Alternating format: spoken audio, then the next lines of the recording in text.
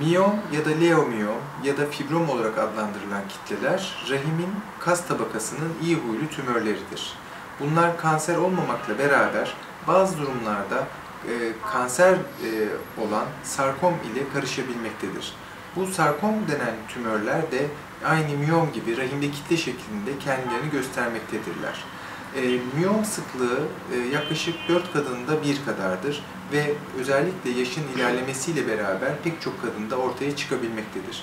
Bunların kanser olmadığını bilmek önemlidir ancak bunların takip edilmesi, boyutlarında herhangi bir büyüme olup olmadığının görülmesi, rahim içerisine, kas içerisine ilerleme olup olmadığının görülmesi, e, başka bir organa ilerleme, sıçrama olup olmadığının görülmesi son derece önemli hale gelmektedir.